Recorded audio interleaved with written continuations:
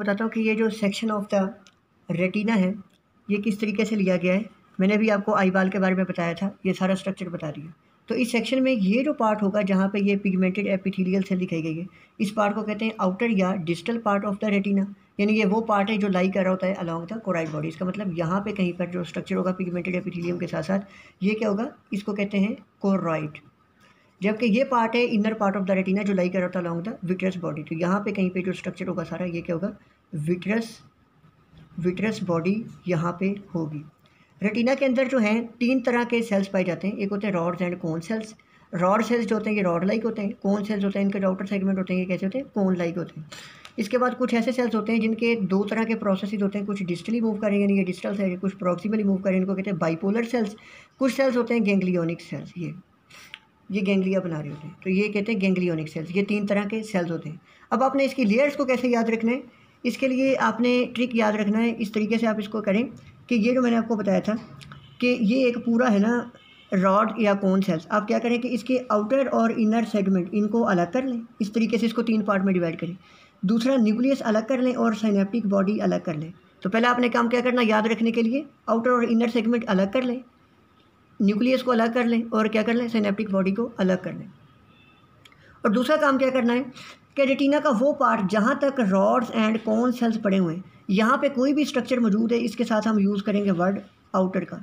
और इससे ऑनवर्ड जितने भी सेल्स पड़े हैं रेटिना का वो पार्ट है, उसके, उसमें कोई भी स्ट्रक्चर पड़ा होगा, उसके लिए हम वर्ड यूज़ करेंगे इनर का। ये बात इंपॉर्टेंट आपने याद रख लेनी तो अब पहले ही आपने बस याद रख लेनी कि पिगमेंटेड लेयर होती है, इसके बाद रॉड्स एंड कौन सेल्स आते हैं। जिसमें ये आउटर और inner segment of the rod cells आ रहे होते हैं ना आउटर एंड इनर सेगमेंट यहाँ तक।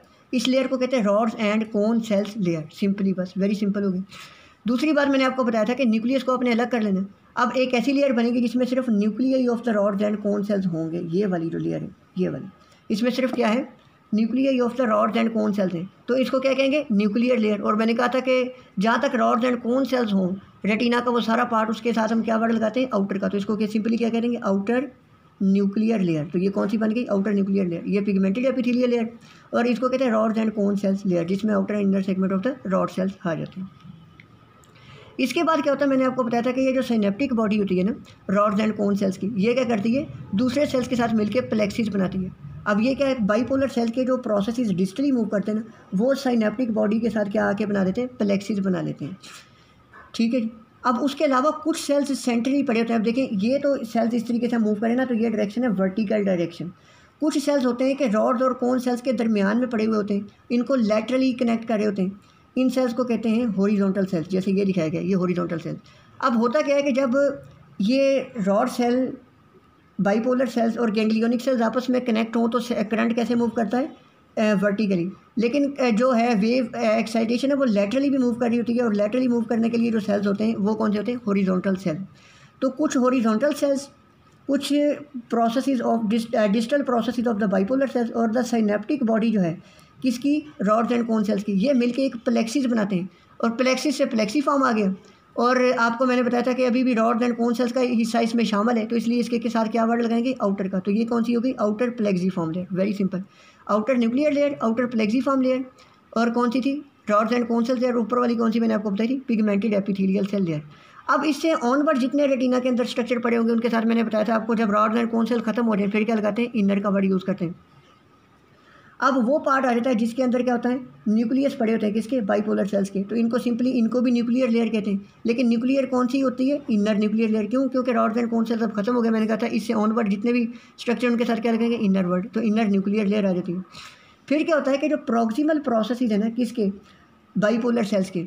ये कनेक्ट हुए होते हैं with the proxy digital process of the ganglionic cells के साथ। जैसे ये बाइपोलर सेल है, इसके ये प्रोक्सीमल प्रोसेस आए और ये किसके साथ साइनअप करके with the digital process of the ganglionic cells और जैसे मैंने आपको बताया था कि रॉड्स एंड कौन सेल्स के दरमियान लेटरली करंट को मूव करवाने के लिए कुछ हॉरिजॉन्टल सेल्स थे। इसी तरह यहाँ पर भी किस किस के दरमियान बाइपोलर सेल्स और गेंगलियोनिक सेल्स आपस में मिल रहे हैं और इसके जंक्शन पे कुछ सेल्स पड़े होते हैं जिसकी, जो क्या करते हैं करंट को लेटरली मूव करवा रहे थे इनको कहते हैं एमा क्राइन सेल्स तो कुछ एमाक्राइन सेल्स का पार्ट आ गया।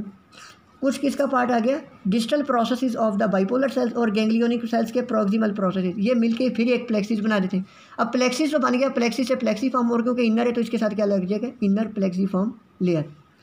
फिर क्या होता है कि जो गैंग्लियोनिक सेल्स हैं इनके जो पेरिफेरल प्रोसेसेस थे, उन्होंने तो साइन अप कर लिया विद द बाइपोलर सेल्स जबकि जो इनके डिजिटल प्रोसेसेस थे, या एक्जॉन्स थे, वो मिलके क्या बना लेते हैं? ऑप्टिक नर्व तो आपको पता होना चाहिए कि ऑप्टिक नर्व कैसे बनती है? Axons of the ganglionic cells of the retina इनसे बनती है। ये बनती है ऑप्टिक नर्व अब ये सारी लेयर्स हमने, मैंने आपको बता दी। अब कुछ इंपॉर्टेंट चीज़ें हैं कि जैसे आपको इस डायग्राम में नहीं दिखाया गया, कुछ चीज़ आपको दिखाया था कि आप ये देखें, यहाँ पे उसने वर्ड शो किया गया आउटर लिमिटिंग मेम्ब्रेन ये दिखाया गया, लेकिन वहाँ पे स्ट्रक्चर में नहीं। और इसी तरह एक यहाँ पे स्ट्रक्चर शो किया गया जिसको कहते हैं इनर लिमिटिंग मेम्ब्रेन अब मैं आपको ये बताऊँ कि इनर लिमिटिंग मेम्ब्रेन होता क्या आउटर लिमिटिंग मेम्ब्रेन होता क्या? अब इतने सारे सेल्स हैं गैंग्लियोनिक सेल देखे बाइपोलर सेल देखे रॉड एंड कोन सेल्स हैं। फिर उसके अलावा मैंने बताया कि लेटरली अगर अपर पार्ट में ऑफ़ रेटिना में देखें तो हॉरिजॉन्टल सेल्स होते हैं लोअर पार्ट में होते हैं एमाक्राइन सेल्स या कि इनर पार्ट में कौन से होते हैं? एमाक्राइन सेल्स अब उसके अलावा इन सेल्स के दरमियान कुछ बड़े बड़े सेल्स पड़े होते हैं इस तरह। इनको कहते हैं गिलाइल सेल्स गिलाइल सेल्स का फ़ंक्शन क्या होता है कि ये प्रोटेक्ट कर रहे होते हैं। क्या करे होते हैं इनके होते हैं कुछ पेरिफेरल प्रोसेसेस और कुछ होते हैं सेंट्रल प्रोसेसेस या फुट प्लेट्स जो पेरिफेरल प्रोसेसेस है ना, वो जाके कि इनके साथ जुड़ जाते हैं रॉड्स एंड कोन सेल्स के साथ। और इनको आपस में कनेक्ट करके रखते हैं। बिल्कुल इस तरह जैसे आप लेट्स सपोज़ ये ब्रिक्स हैं। तो ब्रिक्स आपस में लेटरली जुड़ी होती हैं। सीमेंट से। तो बिल्कुल इसी तरह ये इनको जोड़ के रख रहे होते हैं रॉड्स एंड कोन सेल्स को जब ये इनको आपस में कनेक्ट करते हैं तो इलेक्ट्रॉन माइक्रोस्कोप में देखें ना तो ये जो पेरिफेरल प्रोसेस हैं इन सेल्स के ग्लाइल सेल्स के, जो रॉड्स एंड कोन सेल्स को जोड़ रहे हैं, इनको कहते हैं आउटर लिमिटिंग मेम्ब्रेन तो आपको ये पता होना चाहिए गाइडन में ये मैंशन नहीं है। आउटर लिमिटिंग मेम्ब्रेन मैंने आपको ये जो बताया, ये जस्ट उसने नाम लिखा हुआ था आपको पता होना चाहिए कि आउटर लिमिटिंग मेम्ब्रेन होता क्या अब इनके जो फ़ूड प्रोसेस हैं, वो क्या करते हैं? फ़ूड प्लेट्स आती हैं, जाके मैंने आपको बताया था, यहाँ विट्रस बॉडी विट्रस बॉडी के ऊपर लाई कर रही होती हैं। और ये जो फ़ूड प्रोसेस हैं इन सेल्स के ग्लाइल सेल्स के, ये जो लाई कर रहे हैं किसके ऊपर? विट्रस बॉडी पे। ये मिलके जो स्ट्रक्चर बनाते हैं, इसको कहते हैं इनर लिमिटिंग मेम्ब्रेन और इन सेल्स का नाम क्या होता है? इन सेल्स को कहते हैं मुलर सेल्स इनको कहते हैं मुलर सेल्स मुलर सेल्स जो होते हैं मोस्ट अबंडेंट जो हैं सेल्स होते हैं glial cells in the retina अब मैं आपको इसकी मोस्ट इंपॉर्टेंट बात बता दूँ कि यहाँ तक जितनी भी रेटिना का पार्ट हमने देखा पिगमेंटेड लेयर के बाद, उसमें सारे क्या न्यूरोनल सेल्स हैं। तो इसलिए इस सारे पार्ट को क्या कहते हैं? ये जो पिगमेंटेड एपिथेलियल सेल्स के बाद वाला सारा पार्ट है, इसको कहते हैं pigmented layer neuronal layer of the retina और इस, इतने पार्ट को क्या कहते हैं? Pigmented layer of the retina ये नॉर्मली दोनों लेयर्स आपस में जुड़ी हुई होती हैं. तो अब मैं इसका आपको क्लिनिकल बता दूँ कभी कभी क्या होता है कि इंजरी आई बाल की हुई, जिसकी वजह से pigmented and neuronal layer of the retina आपस में सेपरेट हो गई.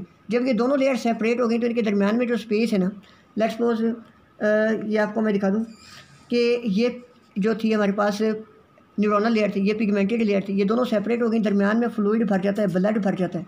तो इसको कहते हैं रेटिनल डिटैचमेंट तो ये इसका क्लिनिकल है कि कभी कभी आई बाल की इंजरी से neuronal and epithelial pigmented layer of the जो रेटिना होती है, वो सेपरेट हो जाती है एक दूसरे से, और इसको कहते हैं रेटिनल डिटैचमेंट सर्जरी करके इनको दोबारा नॉर्मलाइज किया जा सकता है।